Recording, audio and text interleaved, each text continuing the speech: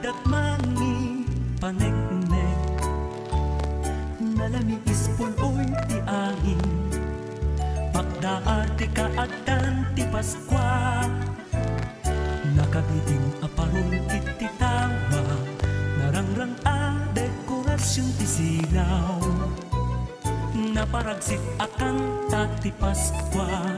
Anyan aragrag sa tisang nga iya ay tinesias Kapya kumakinta na ti agari. Pasantatin tay ti puno a Paskwa Lipaten ti apat yung gura Intay nga ruden na kay kaysa Dandayan tayo ti anak ti Paskwa Ayaw